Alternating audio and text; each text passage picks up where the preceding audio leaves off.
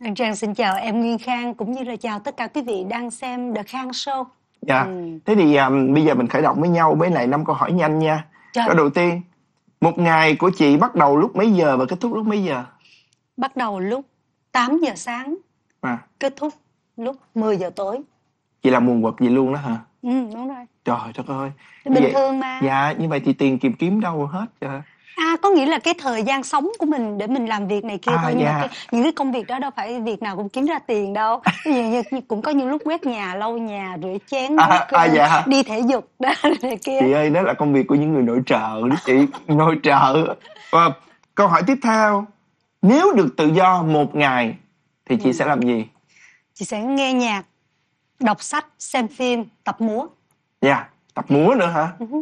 Chị có thể nhảy được bao nhiêu thể loại? Mỗi thứ chút chút Ừ, cũng khá khá.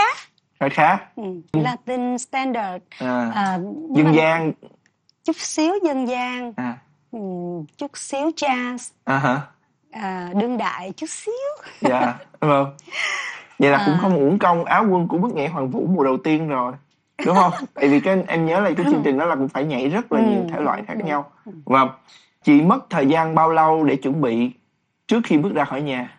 khoảng một tiếng Một bước ngoặt nào đó trong cuộc đời mà chị cảm thấy ấn tượng nhất?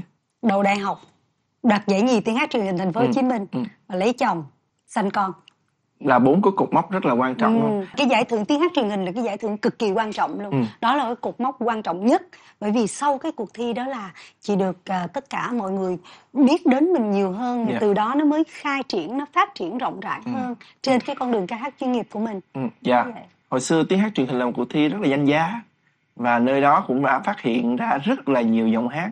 Ừ. Hồi đó thì em nghĩ là về ca hát chỉ có cuộc thi đó là nổi tiếng nhất đúng thôi. chính xác Dạ. nó là cuộc thi tiếng hát truyền hình thành phố Hồ Chí Vâng. Minh nhưng thật ra thí sinh khắp các nơi trong cả nước là đổ dồn về thành phố Hồ Chí Minh để thi cho nên mình cảm thấy là nó rất là vinh dự khi Dạ. mình được là thí sinh của tiếng hát truyền hình kiểu vậy Ừ. Dạ.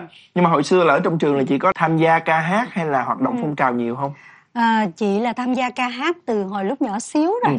từ lúc vô mẫu giáo luôn Ừ. à, từ đó là cứ à, tập luyện mỗi mùa hè thi cái này cái kia đoạt giải không đoạt giải những cái chiến thắng những cái thất bại rồi à, thi không chỉ là ca hát mà còn thi kể chuyện phim kể chuyện sách à, này kia trong những mùa hè Ừ. thi hoạt động đội vân vân Dạ. thì tất cả những cuộc thi đó nó trui rèn cho mình có được một cái năng lực Dạ. một cái kỹ năng rất là quan trọng trong cái cuộc sống của mình Dạ. nói chung khi đậu đại học thì chị được nhận thông báo cả hai trường là Ừ. mình đều đậu đó là trường đại học ngoại ngữ tinh học thành phố Hồ Chí Minh với lại bên trường nhạc viện thành phố Hồ Chí Minh thì một bên là mình học vào ngoại ngữ à, làm cô giáo sư phạm còn một bên đó thì lại làm à, học về thanh nhạc. Về âm nhạc đó. Thì trong cái quá trình mà 4 năm sinh viên đại học á là cái quá trình chị tham gia phong trào văn nghệ sinh viên thành phố rất là mạnh.